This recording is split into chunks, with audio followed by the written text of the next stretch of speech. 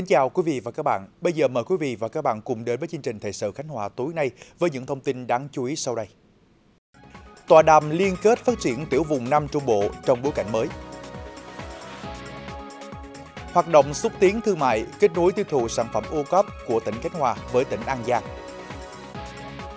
Đẩy nhanh tiến độ thi công, phấn đấu hoàn thành dự án tỉnh lộ 3 trước ngày 30 tháng 9 năm nay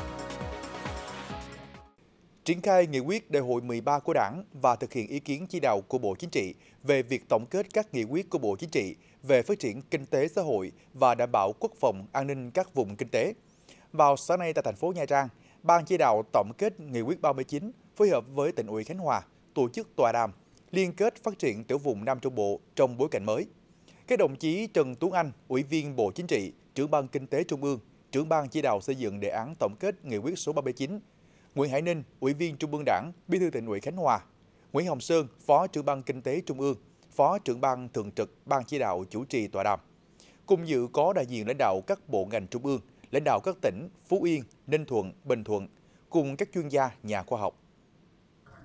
Tiểu vùng Nam Trung Bộ gồm 4 tỉnh Phú Yên, Khánh Hòa, Ninh Thuận, Bình Thuận là địa bàn đặc biệt quan trọng về chính trị, kinh tế, xã hội, quốc phòng an ninh theo nghị quyết số 39 của Bộ Chính trị khóa 9 và kết luận số 25 của Bộ Chính trị khóa 11 về tiếp tục thực hiện nghị quyết số 39 bám sát các mục tiêu, nhiệm vụ, giải pháp được nêu trong nghị quyết 39 và kết luận số 25, cấp ủy chính quyền các địa phương trong tiểu vùng Nam Trung Bộ đã vận dụng sáng tạo trong chỉ đạo điều hành. Tuy nhiên, tình hình kinh tế xã hội của một số địa phương trong tiểu vùng vẫn còn khó khăn. Có 3 trên 4 địa phương trong tiểu vùng chưa tự cân đối được ngân sách. Quy mô nền kinh tế tiểu vùng còn nhỏ và dễ bị tổn thương. Chuyển dịch cơ cấu kinh tế chậm, chưa có sự đột phá. Tỷ trọng nhóm ngành nông lâm nghiệp và thủy sản còn lớn. Môi trường đầu tư kinh doanh cải thiện chậm. Nguồn vốn đầu tư mới đáp ứng một phần yêu cầu phát triển. Chính vì vậy, tọa đàm liên kết phát triển tiểu vùng Nam Trung Bộ trong bối cảnh mới có ý nghĩa quan trọng nhằm củng cố các luận cứ khoa học và thực tiễn, giúp Ban chỉ đạo đề xuất Bộ Chính trị ban hành nghị quyết mới về phát triển kinh tế xã hội và bảo đảm quốc phòng an ninh vùng Bắc Trung Bộ và Duyên Hải Trung Bộ đến năm 2030 và tầm nhìn đến năm 2045, đặc biệt là giải pháp tháo gỡ điểm nghẽn, nút thắt của vùng, cả vùng, đề xuất cơ chế chính sách nhằm khai thông và bổ sung nguồn lực, thúc đẩy phát triển kinh tế xã hội tiểu vùng Nam Trung Bộ nói riêng và vùng Bắc Trung Bộ và Duyên Hải Trung Bộ nói chung. Vào chiều nay, tỉnh đoàn Khánh Hòa đã tổ chức hội nghị lấy ý kiến góp ý của lãnh đạo đoàn các thời kỳ và dự thảo báo cáo chính trị trình Đại hội Đoàn Thanh niên Cộng sản Hồ Chí Minh tỉnh lần thứ 12, nhiệm kỳ từ năm 2022 đến năm 2027. Ông Nguyễn Tấn Tuân, Phó Bí thư tỉnh ủy, Chủ tịch Ủy ban nhân dân tỉnh, nguyên Bí thư tỉnh đoàn, ông Trần Ngọc Thanh, Ủy viên Ban Thường vụ tỉnh ủy, trưởng ban dân vận tỉnh ủy, Chủ tịch Ủy ban Mặt trận Tổ quốc Việt Nam tỉnh, nguyên Bí thư tỉnh đoàn cùng tham dự.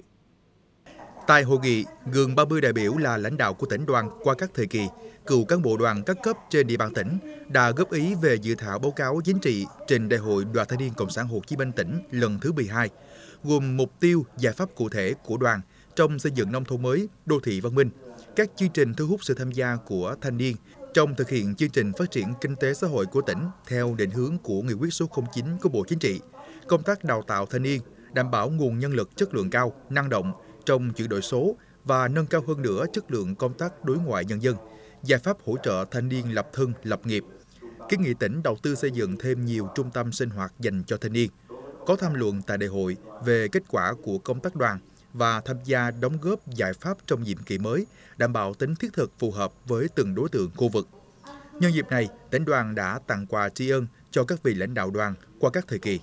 Dự kiến Đại hội đại biểu Đoàn Thanh niên Cộng sản Hồ Chí Minh tỉnh Khánh Hòa lần thứ 12, nhiệm kỳ từ năm 2022 đến năm 2027 sẽ được tổ chức vào ngày 10 và 11 tháng 8 năm 2022. Tỉnh đoàn Khánh Hòa được Trung ương Đoàn Thanh niên Cộng sản Hồ Chí Minh chọn là địa phương tổ chức đại hội điểm khu vực Duyên Hải, Nam Trung Bộ và Tây Nguyên. Sáng nay tại huyện Vạn Ninh đã diễn ra hội nghị giao ban giữa Thường trực Hội đồng Nhân dân tỉnh với Thường trực Hội đồng Nhân dân các huyện, thị xã, thành phố. Tham dự hội nghị có ông Trần Mạnh Dũng, Phó Chủ tịch Thường trực Hội đồng Nhân dân tỉnh, bà Phạm Thị Xuân Trang, Phó Chủ tịch Hội đồng Nhân dân tỉnh. Từ đầu nhiệm kỳ đến nay, Hội đồng Nhân dân tỉnh đã tổ chức 6 kỳ họp, thông qua 156 nghị quyết và xem xét, thảo luận các báo cáo công tác nhiệm kỳ. Quyết định tại các phiên họp đã kịp thời giải quyết những vấn đề phát sinh, bất cập, tạo sự thống nhất để Ủy ban Nhân dân tỉnh và các ngành tổ chức thực hiện nhiệm vụ phát triển kinh tế xã hội. Thường trực Hội đồng Nhân dân tỉnh đã xây dựng kế hoạch và tổ chức giám sát việc giải quyết ý kiến, kiến nghị của cử tri. Kết quả giám sát thể hiện rõ nội dung đã làm được, chưa làm được, những kiến nghị tồn động kéo dài, chỉ rõ trách nhiệm của các cơ quan liên quan. Bên cạnh đó, ngay sau khi dịch bệnh COVID-19 được kiểm soát, Thường trực Hội đồng Nhân dân tỉnh đã tổ chức 3 đợt tiếp xúc cử tri trước kỳ họp, tiếp nhận 284 đơn khiếu nại, tố cáo, đơn phản ánh, kiến nghị, duy trì thường xuyên công tác phối hợp với các cơ quan trong hoạt động xây dựng pháp luật, khảo sát, giám sát việc thi hành pháp luật. Tại hội nghị, các đại biểu đã thảo luận giải pháp nâng cao chất lượng hoạt động tiếp xúc cử tri.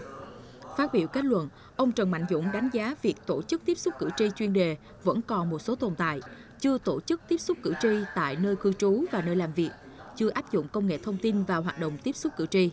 Do đó, đòi hỏi Hội đồng Nhân dân phải thay đổi phương thức, nội dung nhằm nâng cao chất lượng tiếp xúc cử tri. Phó Chủ tịch Thường trực Hội đồng Nhân dân tỉnh đã đề ra phương hướng, nhiệm vụ mà các ban của Hội đồng Nhân dân tỉnh, Hội đồng Nhân dân các huyện, thị xã, thành phố cần thực hiện trong năm 2022. Sáng nay, ông Đinh Văn Thiệu, Phó Chủ tịch Ủy ban Nhân dân tỉnh đã đến dự diễn tập phòng chống cháy rừng huyện Khánh Vĩnh năm 2022. Cuộc diễn tập được tổ chức theo hình thức một bên hai cấp, có một phần thực binh, huy động hơn 30 phương tiện, gần 500 cán bộ chiến sĩ các lực lượng quân đội, công an, kiểm lâm, dân quân tự vệ và đoàn thể tham gia.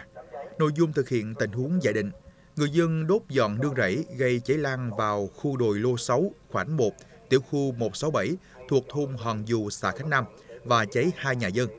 Trong quá trình chữa cháy tại hiện trường đã xảy ra một tiếng nổ lớn làm hai người bị thương. Sau hơn 2 giờ nỗ lực ứng cứu của các lực lượng, đám cháy đã được dập tắt. Phát biểu tại diễn tập, ông Đinh Văn Thiệu đánh giá cao vai trò tham mưu của các ban ngành đoàn thể huyện Khánh Vĩnh cho cấp ủy chính quyền địa phương trong xử lý tình huống cháy rừng, đảm bảo an toàn tính mạng và tài sản cho nhân dân. Đây cũng là dịp để tuyên truyền, nâng cao nhận thức, trách nhiệm của các chủ rừng và người dân trong công tác phòng cháy chữa cháy rừng. Phó Chủ tịch Ủy ban Nhân dân tỉnh đề nghị sau diễn tập, huyện Khánh Vĩnh bổ sung điều chỉnh kế hoạch ứng phó, phương án phòng chống cháy rừng sát với thực tế và yêu cầu nhiệm vụ của địa phương. Dịp này, Ban chỉ đạo diễn tập huyện Khánh Vĩnh đã trao thưởng cho 7 tập thể hoàn thành tốt nhiệm vụ diễn tập phòng chống cháy rừng năm 2022. Thưa quý vị và các bạn, nhằm tăng cường hỗ trợ tiêu thụ nội địa, Sở Công Thương tỉnh đã tổ chức nhiều hoạt động xúc tiến thương mại, kết nối cung cầu. Mới đây, đơn vị đã kết nối với một đơn vị phân phối lớn ở An Giang, tìm hiểu các sản phẩm đặc trưng ô cốp của tỉnh, bước đầu mở ra cơ hội cho các cơ sở sản xuất của Khánh Hòa mở rộng thị trường. Trong đợt này, có 8 doanh nghiệp của Khánh Hòa tham gia giới thiệu sản phẩm với siêu thị Tứ Sơn, tỉnh An Giang. Tất cả đều là sản phẩm ô cốp được công nhận xếp hạng từ 3 đến 4 sao, gồm rong nho, các loại nấm linh chi, bào ngư, nấm hương, nấm mèo, chuối sấy dẻo, muối chấm và gia vị, nước yến, chả cá, trầm cảnh mỹ nghệ hương. Về phía đối tác, Tứ Sơn là một trong những siêu thị lớn của tỉnh An Giang, với thế mạnh có 3 nguồn khách tiêu thụ, gồm các tỉnh thành đồng bằng sông Cửu Long, khách du lịch đến với An Giang và các tỉnh giáp biên của Campuchia. Siêu thị hướng tới những sản phẩm đặc trưng vùng miền của Khánh Hòa. Trong cái điều kiện hiện nay thì cái việc tiêu thụ các sản phẩm cũng đang khó khăn kể cả tiêu thụ nội địa và tiêu thụ xuất khẩu. Do đó là uh, sở về phía cơ quan quản lý nhà nước cũng hỗ trợ cho các doanh nghiệp hết mình và cố gắng uh, được thị trường nào thì tốt thị trường đó và càng mở rộng thì càng tốt. Và đối với cái thị trường An Giang cũng là cái tiêu thụ lớn đối với các sản phẩm à, đặc trưng của Khánh Hòa. An Giang là nói riêng cũng như miền Tây à, nói chung là một cái thị trường rất là mới mẻ à, và tiềm năng rất là lớn với số lượng dân rất là đông. Thì đó là một thị trường rất là tiềm năng đối với các ngành hàng của chúng tôi. Thì có một cái lượng khách du lịch đến với Châu Đốc và cái lượng khách nữa là từ ờ, biên giới Campuchia thì đấy cũng là một cái ờ, rất là tiềm năng à, và chúng tôi cũng muốn là ờ, bán cho những cái đối tượng khách hàng như thế. Chương trình xúc tiến thương mại đối với các sản phẩm đặc trưng của tỉnh Khánh Hòa cũng như kết nối với một số tỉnh thành khác đã được Sở Công Thương Khánh Hòa tổ chức nhiều lần. Nhưng đối với thị trường An Giang và các tỉnh miền Tây thì còn khá mới mẻ. Do khoảng cách địa lý xa nên trở ngại trước tiên là chi phí vận chuyển cao vì giá xăng dầu tăng. Tuy vậy, lợi thế của Khánh Hòa là có nhiều sản phẩm rất đặc trưng, có tính cạnh tranh cao trên thị trường. Giữa hai tỉnh không trùng lắp về sản phẩm vùng miền nên đây sẽ là điều kiện thuận lợi để xâm nhập thị trường, làm phong phú hơn nguồn cung hàng hóa.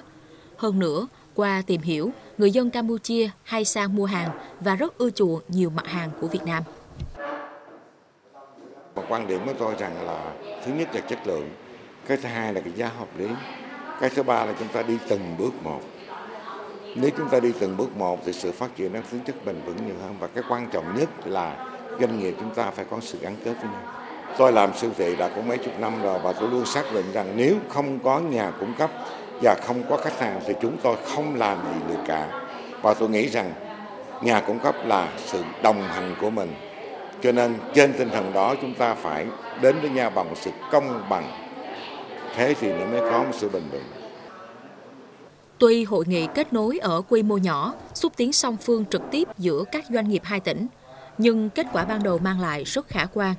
Phía An Giang đã chọn 6 sản phẩm gồm nước yến, rong nho, muối chấm, trầm hương, nấm các loại và chả cá biển. Trong hoạt động xúc tiến thương mại, Sở Công Thương là đơn vị đóng vai trò trung gian, kết nối cung cầu, tư vấn, hỗ trợ các doanh nghiệp về thủ tục chính sách. Hiệu quả cuối cùng phụ thuộc vào hai bên, nhà sản xuất và đơn vị phân phối tiêu thụ, thỏa thuận được giá cả, cùng nỗ lực giải quyết mọi vướng mắc, khó khăn và có thiện chí hợp tác lâu dài.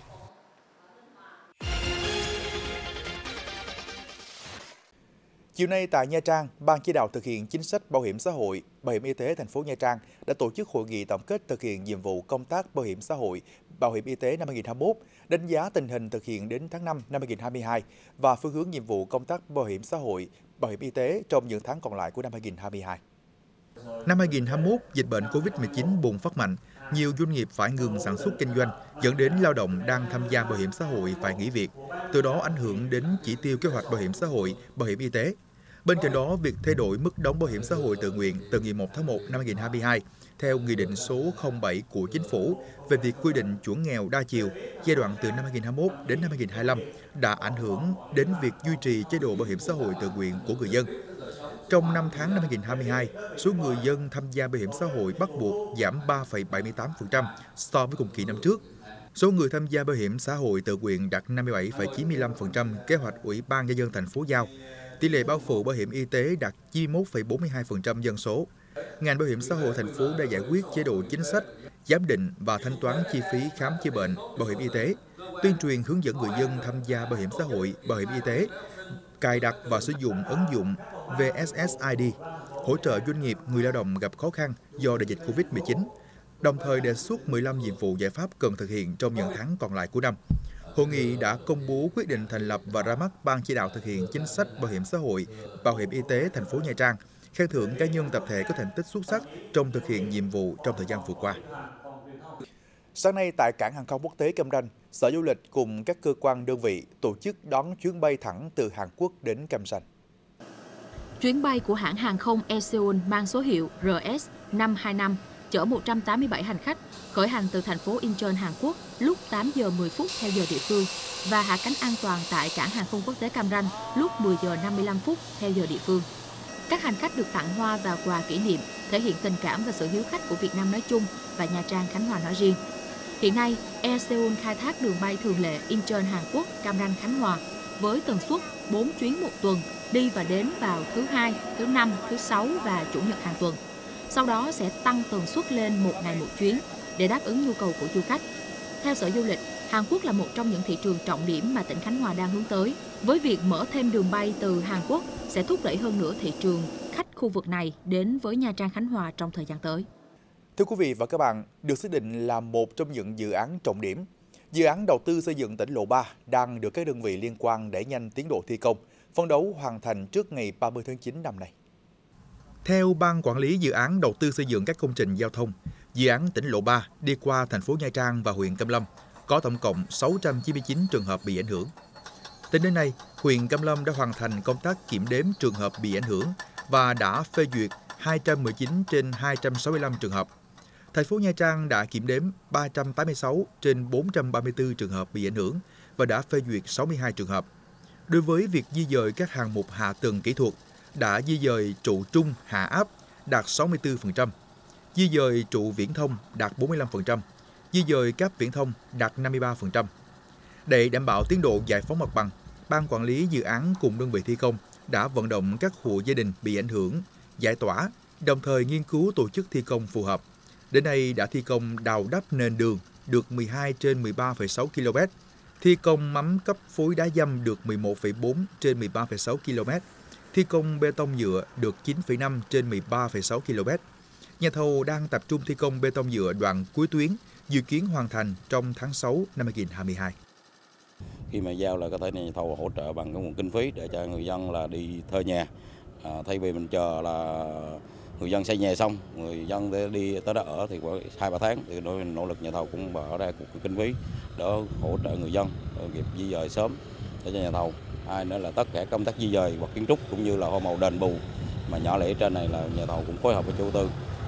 bằng mọi mọi cách để có thể là đền bù nó sớm thực hiện nhanh nhất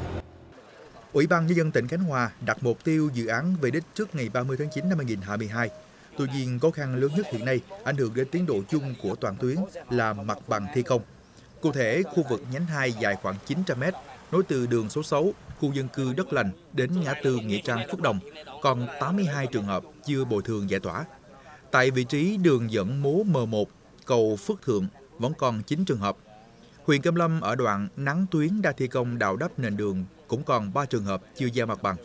Ngoài ra, Ban Quản lý Dự án Đầu tư xây dựng các công trình giao thông phát hiện một số vị trí trụ điện tiềm ẩn nguy cơ mất an toàn, nên đã có tờ trình đề xuất di dời từ ngày 18 tháng 3.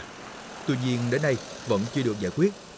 Trực tiếp kiểm tra tiến độ thi công tại một số vị trí trên tuyến đường vào ngày 23 tháng 6, lãnh đạo Ủy ban nhân dân tỉnh đề nghị các sở ngành đơn vị liên quan khẩn trương tháo gỡ các vướng mắc để nhanh tiến độ thi công để đưa dự án về đích theo đúng mục tiêu đề ra các cái đoạn tuyến còn lại vướng bồi thường thì ban phải bám sát với thành phố Nha Trang trung tâm phát triển đất xã Phước Đồng các phòng ban chuyên môn của thành phố cũng như là huyện Cam Lâm, trung tâm phát triển đất xã đó rồi mấy cái phòng ban phải phối hợp với họ để đôn đốc cái gì vướng là phải báo cáo để xử lý. Cái cuối cùng là đối với công trình này thì tôi đề nghị ban các ông chí hai tuần các ông chí báo tiến độ một lần cho ủy ban và sở giao thông được khởi công từ tháng 10 năm 2020, dự án tỉnh lộ 3 có tổng chiều dài là 13 km, gồm hai nhánh. Nhánh 1 bắt đầu tại ngã ba Ủy ban nhân dân xã Phước Đồng, thành phố Nha Trang, đến đường dẫn nối lên đường cao tốc Bắc Nam tại xã Suối Tân, huyện Cam Lâm. Nhánh 2 nối từ đường số 6, khu dân cư Đất Lành đến ngã tư Nghĩa Trang Phước Đồng. Khi hoàn thiện, dự án sẽ tăng tính kết nối cụm công nghiệp Tràng É, khu công nghiệp Suối Dầu, góp phần phát triển cơ sở hạ tầng phía nam thành phố Nha Trang. Đồng thời, khớp nối các trục đường chính, hoàn chỉnh hệ thống giao thông, kết nối liên vùng, khu vực, thúc đẩy phát triển kinh tế xã hội của tỉnh Khánh Hòa. Sáng nay, Ủy ban nhân dân thành phố Nha Trang đã tổ chức hội nghị sơ kết nhiệm vụ quốc phòng quân sự địa phương trong 6 tháng đầu năm 2022, đồng thời triển khai phương hướng nhiệm vụ trong 6 tháng cuối năm. 6 tháng đầu năm nay, tình hình an ninh chính trị, trật tự an toàn xã hội trên địa bàn thành phố ổn định. Nhiệm vụ quốc phòng quân sự địa phương được triển khai đồng bộ, bảo đảm chất lượng, hiệu quả. Thành phố duy trì nghiêm các chế độ trực sẵn sàng chiến đấu, tăng cường lực lượng trực, tuần tra canh gác, nắm chắc tình hình địa bàn, bảo đảm an toàn cho các ngày lễ và sự kiện trọng đại của đất nước. Công tác dân quân tự vệ, giáo dục quốc phòng an ninh, công tác động viên, tuyển quân, tuyển sinh được quan tâm triển khai và đạt chỉ tiêu được giao. Trong 6 tháng cuối năm, thành phố Nha Trang tiếp tục duy trì nghiêm chế độ trực sẵn sàng chiến đấu, đảm bảo an ninh chính trị, trật tự an toàn xã hội, hiệp đồng chặt chẽ với các đơn vị quân đội đứng chân trên địa bàn, sẵn sàng phương án phòng chống, ứng cứu, khắc phục hậu quả thiên tai, cháy nổ, cháy rừng, chỉ đạo xây dựng kế hoạch và tổ chức huấn luyện cho các đối tượng. Chiều nay, trường Cao đẳng Du lịch Nha Trang tổ chức bảo vệ đề tài nghiên cứu khoa học cho sinh viên và giảng viên của trường. Năm học 2021-2022, Trường Cao đẳng Du lịch Nha Trang có 42 đề tài nghiên cứu khoa học, sáng kiến kinh nghiệm, biên soạn giáo trình được triển khai thực hiện, trong đó có 20 đề tài của sinh viên và 22 đề tài sáng kiến giáo trình của giảng viên với nội dung về ngành nghề chuyên sâu về du lịch, ứng dụng thêm ở lĩnh vực văn hóa, văn nghệ và phát triển năng lực người học sử dụng công nghệ thông tin. Theo đánh giá của Hội đồng khoa học nhà trường, các đề tài sáng kiến và giáo trình năm nay của sinh viên và giảng viên đạt chất lượng tốt, đảm bảo khả năng ứng dụng sau khi được nghiệm thu, góp phần nâng cao tính tự học sáng tạo của học sinh sinh viên. Trong những năm gần đây, trường Cao đẳng Du lịch Nha Trang luôn chú trọng tạo điều kiện cho sinh viên tham gia nghiên cứu khoa học và nhận được sự hưởng ứng tích cực từ sinh viên. Chiều nay, công ty cổ phần nước giải khát Yến sào Khánh Hòa Savines đã tổ chức lễ trao tặng nhà tình nghĩa cho các hộ nghèo gặp khó khăn về nhà ở tại xã Suối Hiệp, huyện Di Khánh. Đây là hoạt động từ thiện xã hội được công ty tổ chức hàng năm, hưởng ứng cuộc vận động mỗi tổ chức cá nhân gắn với một địa chỉ nhân đạo. Đợt này, công ty đã trao tặng 4 căn nhà tình nghĩa cho 4 hộ gia đình, diện tích xây dựng mỗi căn từ 40 đến 60 m2, kinh phí xây dựng mỗi căn 60 triệu đồng, được trích từ nguồn ủng hộ của cán bộ, công nhân viên, người lao động trong công ty. Sau thời gian thi công, 4 căn nhà được bàn giao và đưa vào sử dụng. Có hai gia đình tự đóng góp thêm từ 15 đến 20 triệu đồng để nhà được khang trang hơn. Nhân dịp này, Ủy ban Nhân dân huyện Diên Khánh, xã Suối Hiệp và công ty đã trao tặng một số vật dụng cần thiết cho các hộ gia đình. Thời gian tới, công ty tiếp tục trao tặng 6 nhà tình nghĩa cho các hộ nghèo ở thị xã Ninh Hòa và huyện Khánh Vĩnh. Thông tin vừa rồi đã kết thúc chương trình Thời sự Khánh Hòa tối nay. Cảm ơn quý vị và các bạn đã quan tâm theo dõi. Xin tạm biệt.